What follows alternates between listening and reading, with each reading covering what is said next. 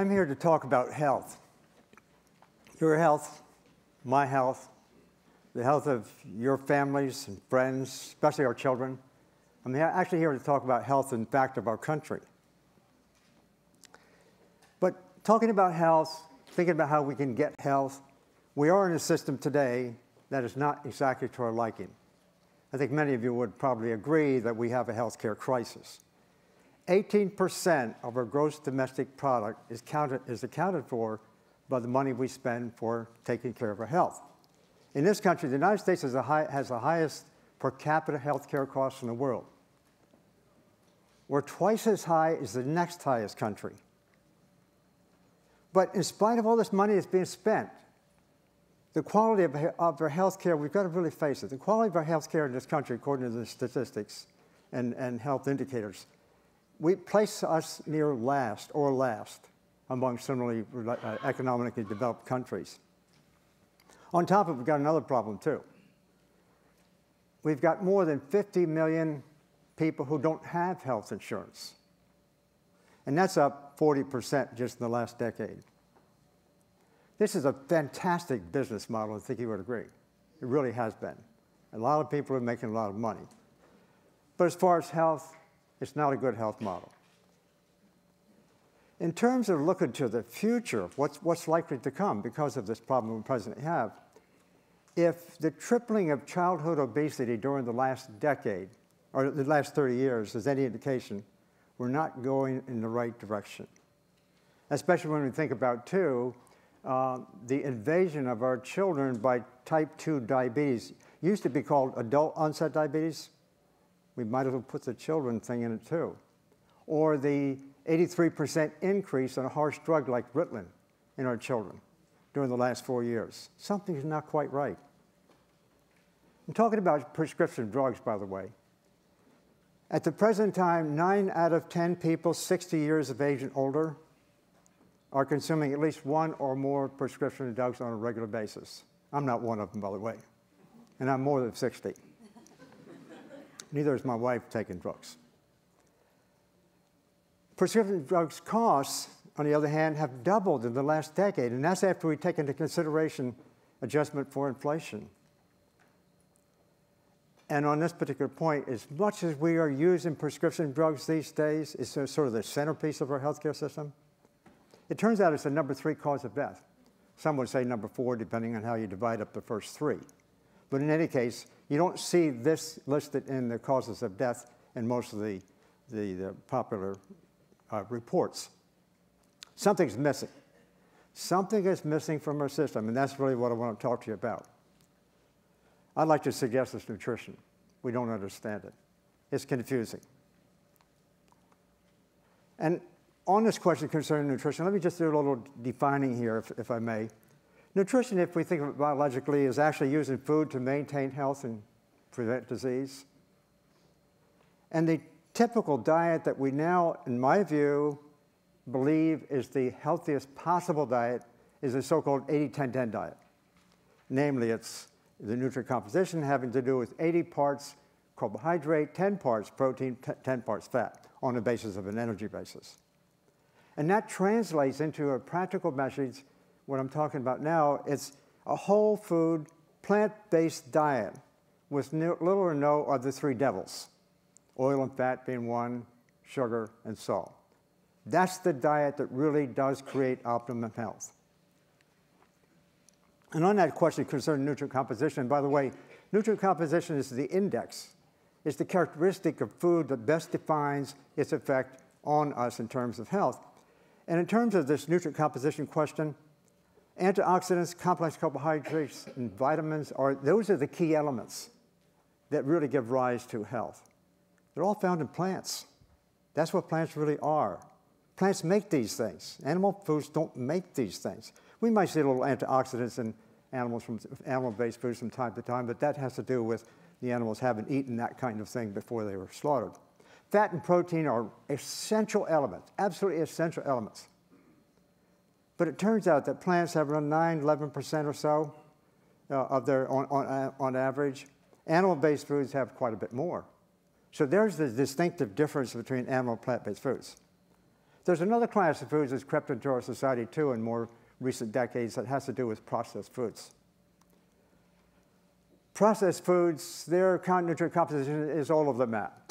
It depends on what, what, how one combines pieces of the other, other groups of foods. Processed foods also are not good because they tend to be very high in salt, sugar, and fat, the three devils. So I come back to the, my main point is whole plant-based foods that really are doing the job for us.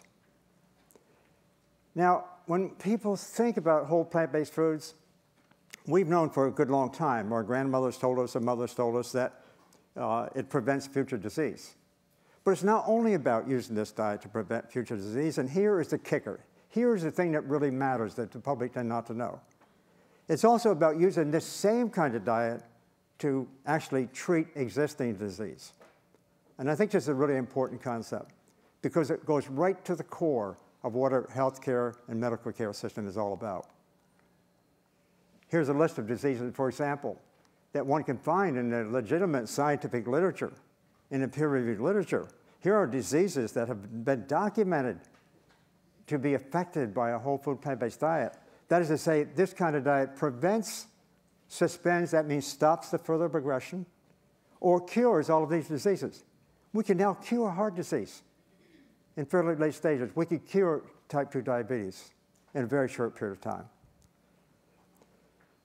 I have spent more than 50 years in this field as an experimental researcher, if you will, in the area of nutrition.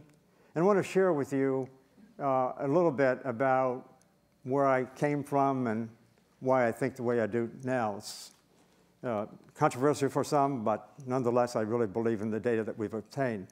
Initially, I was involved in investigating nutrients on a one-by-one basis, and still today, that's the way research tends to work, looking at one thing at a time, just one thing at a time. But over the years, I finally came to the view, and this is really where the punchline is here, this is where the power of nutrition really exists. It, nutrition should be recognized a holistic effect of countless nutrients involving countless diseases, working through countless mechanisms. Now I want to share with you just some, as I look back and sort of ask myself, how did I sort of get to this place? Because I didn't start here in my career some 50 years ago. And I want to share with you just a few observations that were taken from my own research uh, quite a number of years ago now, 30, 35 years ago, that kind of set the stage in a way for developing some principles that apply to what nutrition and health really is all about. This model I'm going to be telling you about in the next three or four slides here involves a a laboratory animal model, laboratory rats in this particular case, that have been genetically programmed to get cancer. And so let's see what, what do we see. I'm, I'm interested in this particular case here to see what effect nutrition might have on that model, where the genes are there to create the disease. When we feed, in this particular case, an animal that has the ideal levels of protein, that being about 20% of total protein, when we feed a diet that is 20% dietary protein, these cancers are growing well in the first six weeks in those animals. In contrast, when you feed a diet of 5% dietary protein, they don't, even though they've been genetically programmed to get the disease. This next little bit of this, this next observation really struck me as being quite significant. Namely, when we watch these sort of cancers growing in the first stage, and switch the diet back and forth between 20% protein and 5% protein. You can see it there.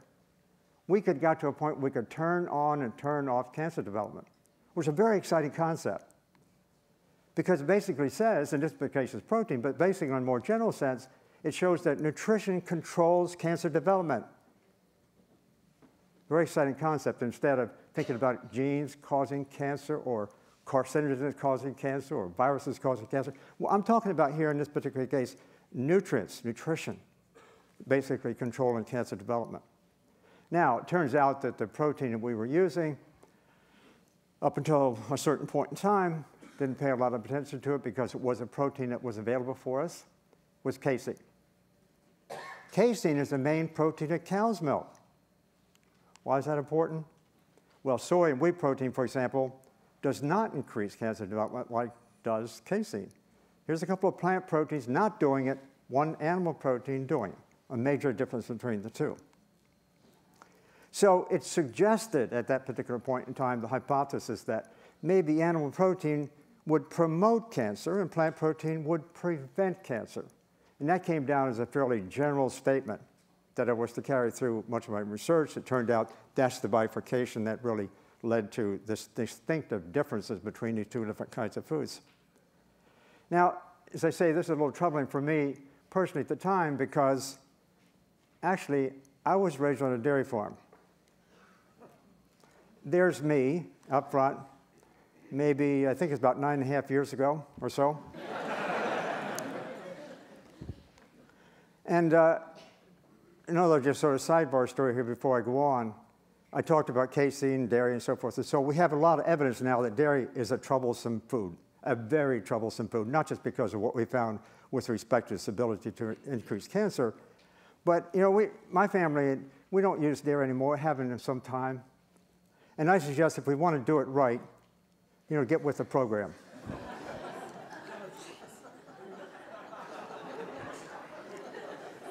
So let's come back then to the model that I was using just to tell you about some of the principles that in fact affected me and my thinking in a, in a larger context as we went forward.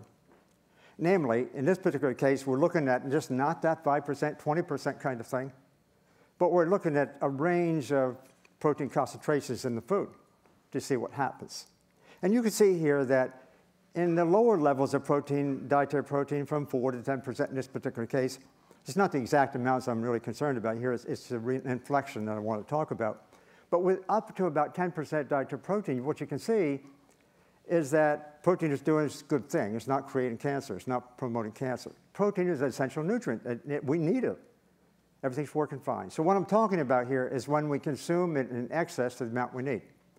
And in fact, uh, most of us humans actually live in that red zone where we're consuming in excess of what we need.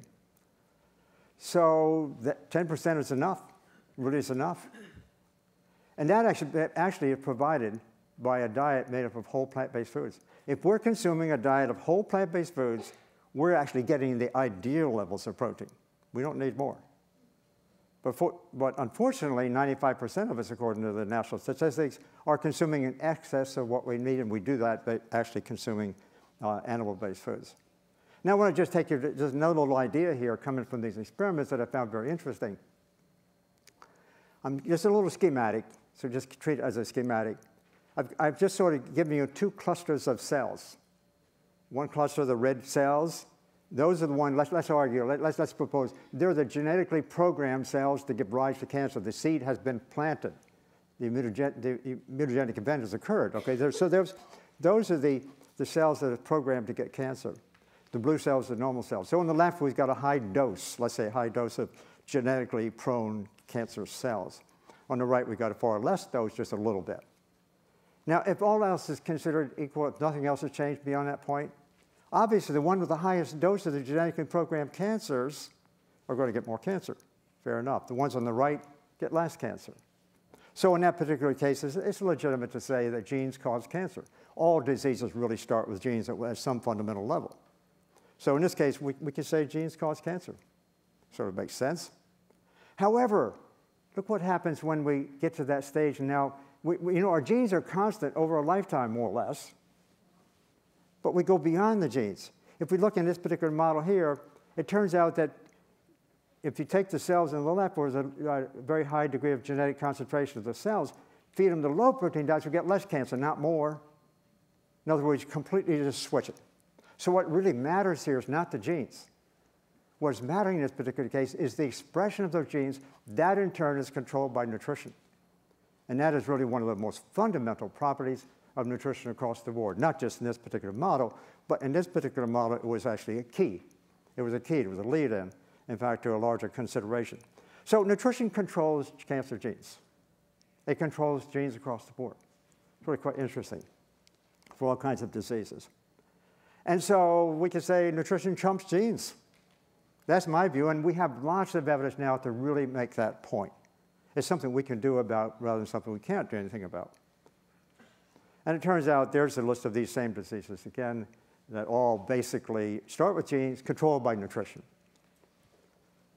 So I have a question in a current uh, uh, conversation we're having now. If nutrition controls genes, then why are we spending so much money for genetic research? In my estimation, it's a rough approximation, we're spending at least 100 times the amount of funding for genetic research than we do for nutrition research. When in fact it's nutrition, it's nutrition that actually gives us the health. It's not the genes. Genetic research, of course, makes money, or at least there's the perception of those who are making this money available that in fact it's, it's uh, doing that. Nutrition research only makes health. So it comes down to this. How do we understand nutrition? As I said in the beginning, it's about looking at one nutrient at a time. And we see that every day. The recommended dietary allowance is this nutrient, you need this much, food labeling. It's, it's actually led to a vitamin supplement industry, as a matter of fact. A 30 more, 30 plus billion dollar industry. We now know that nutrient supplements really don't do the job. That's not what we need. I like to say, let's call that an old paradigm. The practice of medicine was the same sort of argument. At the present time, our health system, our medical practice system, is, re, is reductionist in nature. We think about single causes, single biomarkers. You go to the doctor, he tells you how much cholesterol you have, how much blood sugar, as if these are really things that count and, and, and all by themselves. Or single diseases, that's how we give them this international classification of disease code. Doctors get paid according to what they diagnose.